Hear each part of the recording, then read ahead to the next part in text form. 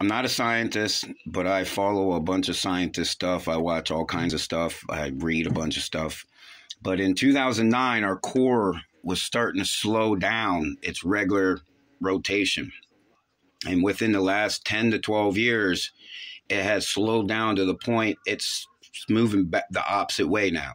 It happens every 70 to 100 years. So yesterday there was earthquakes in like 20 to 25 countries, hundreds of earthquakes. Um, Turkey, New York, California, uh, all kinds of different places.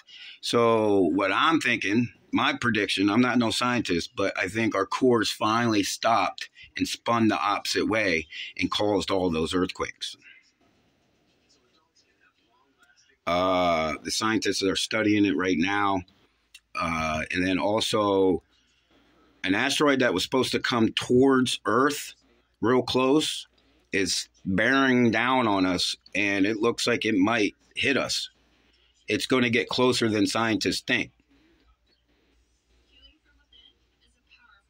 What the heck is going on, universe?